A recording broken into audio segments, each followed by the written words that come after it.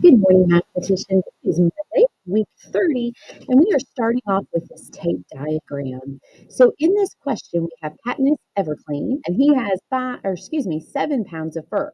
So this entire rectangle represents seven pounds. Now, after he weekly fur cut, after the weekly fur cut, she has five and two thirds of fur left. So we want to know how much was cut off. Notice, boys and girls, this is how much is left. This is how much was cut off. We're trying to figure out this number, and it is going to all equal seven. You'll just leave it right there, that'd be great. We are looking for this missing part.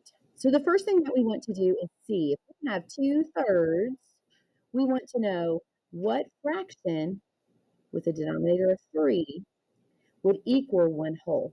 Well, I know that two thirds plus one third is going to equal three thirds. So this fraction and this fraction is going to equal 1. Now, if I have one whole because of those two fractions, and 5, I've already used up 6 of the pounds, so I need one more. And in this way, I know that 5 and 2 thirds plus 1 and 1 third equals 7. Boys and girls, our answer to this question is 1 and 1 third pound. We want to go back and refer to the question and find that that 1 third means the pounds that was cut off. Okay, our next question says Al dente filled four thirds of his one liter marinara container. Did he fill more or less than one liter? So, really, what we're asked here is like a comparison. Is four thirds greater than one, less than one, or equal to one? We know it's not equal to one because three thirds would be equal to one. This numerator is four, so therefore I know this is greater than one whole. Now we are asked to explain, so we are going to say that he filled more than one liter because, just like we said, four thirds, and I'm going to use my comparison symbol, is greater than one. So really, he has an extra one third of a liter. Okay. Now our next question says A below is two thirds of point B. So the first thing we need to do is mark where point B is. Well, if this is two thirds, then this might be one third. If we had one third, two third, this would be three third, right? So here, boys and girls, is where point B should be. It's going to be just a third away. Here's a third, here's a third. That's how I know where to put point B. Now, the next thing we're told is that point C is one half of point A, right? So if I have zero here, if I have technically like one here at A, we are going to put this as C. It's going to be right in the middle between zero and A. That's all we have to do for that is we're really just thinking about like a number line and marking where those fractions would be. This says solve the following and simplify the fractions if possible. Notice, boys and girls, first of all, I have two whole numbers because I have a mixed number. I have a whole number part and a fraction part. So I know that, for example, here I have 5 minus 3. So I know that is going to give me a big 2 because my whole number value will be 2. Now I look at these fractions and I notice that they already have common denominators. Since they have common denominators, I can simply put my denominator here in my answer as well. My denominator is 8. And now I'm going to subtract my numerators. I have 7 minus 5 is 2. So my answer here is 2 and 2 eighths. Now I know that 2 and 8 are both even numbers, which means that they share the factor of 2. So I really can make 2 eighths equal to 1 fourth because that is like dividing out the 2. 2 divided by 2 is 1. 8 divided by 2 is 4.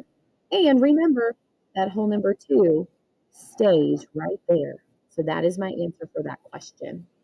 The last question for today says Jackpot robs 684 and 8 tenths of a kilogram of gold. He stores it equally in four different hideouts. How much gold is kept at each hideout? This is what we are to figure. Now, boys and girls, remember when we have worked with this in the past? We've talked about these fractions in some different ways.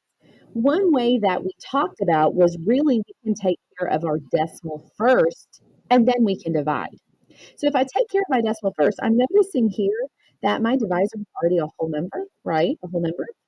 So there is technically a decimal, but it's already at the end up against the division box. So I'm not going to move my decimal at all in my divisor. It's not like I'm going to multiply this by a power of 10 to make it a whole number. I already have whole number 4. So I'm not going to do any sideways movement here. I'm just going to rocket that decimal straight up into my quotient. Whatever I find my answer to be, I'm going to have some numbers, a decimal, and one more place value. Now, one of the strategies we found was that after you do that, we could go ahead and pretend like this is all a whole number. We can really have 6,848 being divided by 4. And then technically at the end, it's like I multiply it by 1 tenth in order to put this place value here again. Okay. And that has helped us as we've done some dividing with decimals. So really, boys and girls, we're going to think about four and how many groups of four can we get from 600, or excuse me, 6,848. So I'm going to start with saying 4,000. If I got a thousand groups of four, that would be 2,848, right? Now that's good, but certainly I can do more. So now I'm going to take 700 groups because 7 times 4 is 28, and then I'll have two zeros. Now I have 48, okay? Now I know that I can get exactly 12 groups of 4 from 48. When I subtract that 48, I have no remainder.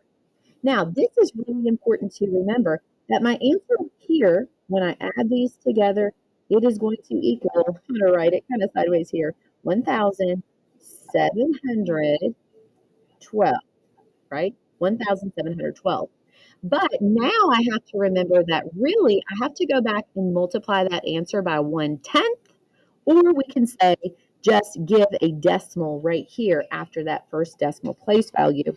So really my answer will be 171 and 2 tenths.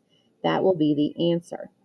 Now the answer here is grams because we're thinking about the gold and how much gold is in each of those four hideouts.